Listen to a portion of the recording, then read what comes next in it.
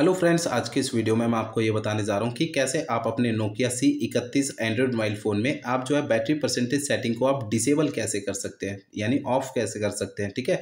और ये battery percentage setting जो है डिसेबल होने के बाद ही सेटिंग कैसे काम करती है?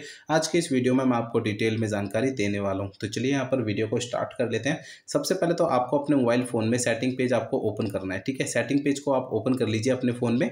सेटिंग पेज में आपको ना नीचे आना है। यहाँ पर आपको ऑप्शन मिलेगा ये बैटरी का। बैटरी पर आपको इसे सेलेक्ट करना है, ठीक है? अब बैटरी के इस पेज में आपको नीचे ये ऑप्शन मिलेगा बैटरी परसेंटेज का, ठीक है? बैटरी परसेंटेज के ठीक सामने जो बटन दे रखा है ना, इस बटन को आपको सेलेक्ट करना है तो ये बटन आपका ऑफ़ हो जाएगा, यानी कि सेटिंग डिसेबल हो जाएगी। इसे डिसेबल करने से पहले ना, मैं आपको कुछ बातें यहाँ पे बता देता हूँ। आप मेरे मोबाइल फ़ोन के सबसे टॉप स्क्रीन पर देखिए मोबाइल फ़ोन के बैटरी का जो आइकन है, उसके साइड में एक परसेंटेज शो हो रहा है फिफ्टी थ्री परसेंट ठीक है? ये जो फिफ्टी थ्री परसेंट यहाँ पे शो हो रहा है ना, ये हमारे मोबाइल फ़ोन के बैटरी का परसेंटेज है, ठीक है? जो कि दर्शाता है कि आप, आपके मोबाइल फ़ोन की बैटरी जो है हंड्रेड में से कितनी बची हुई है, कितनी परसेंट बची हुई है, ठीक है?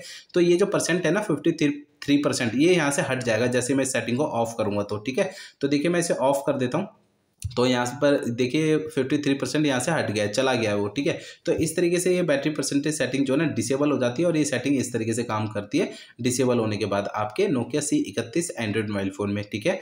अब मैं आपको है ना ये बैटरी परसेंटेज सेटिंग को ढूँढने का एक शॉर्टकट तरीका बता देता हूँ आपके मोबाइल फ़ोन में, ठीक है? इसके लिए आपको करना क्या होगा, आपको अपने फ़ोन का सेटिंग पेज ओपन करना है, ठीक है? सेटिंग पेज में आपको है ना सबसे ऊपर ये सर्च सेटिंग का ऑप्शन सेलेक्ट करना है, ठीक है? अब यहाँ पर आपको सबसे ऊपर ये सर्च बार में टाइप करना है बैटरी परसेंटेज ठीक है? जो सेटिंग का नेम है ना, वो आपको टाइप कर देना इधर बैटरी परसेंटेज तो आपको नीचे ये ऑप्शन शो हो जाएगा बैटरी परसेंटेज का, ठीक है? इसे आपको जो है सिलेक्ट कर लेना है। सिलेक्ट करने से क्या होगा? आपका मोबाइल फ़ोन आपको डायरेक्टली इस सेटिंग पेज में लेकर आ जाएगा और इस सेटिंग को हाईलाइट करेगा इस तरीके से। तो ये मैंने आपको एक शॉर्टकट तरीका भी बता दिया इस सेटिंग को ढूँढने का।